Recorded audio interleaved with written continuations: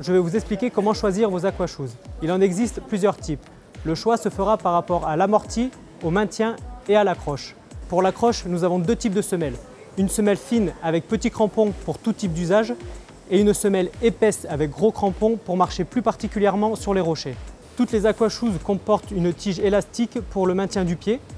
Pour un meilleur maintien, choisissez un modèle avec la sangle ajustable. Enfin, si vous marchez longtemps ou sur une zone rocheuse, je vous conseille de choisir un modèle avec une semelle en EVA pour un meilleur amorti et pensez à la rincer à l'eau claire après chaque utilisation pour prolonger sa durée de vie.